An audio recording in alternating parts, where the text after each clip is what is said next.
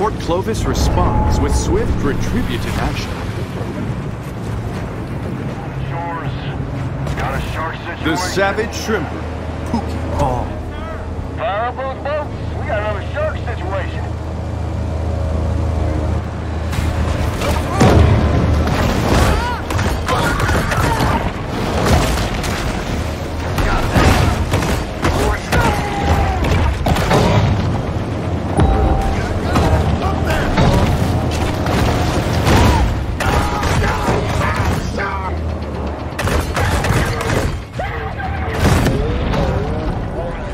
Only time will tell whether government actions can diminish Port Clovis's reputation as a shark attack hotspot.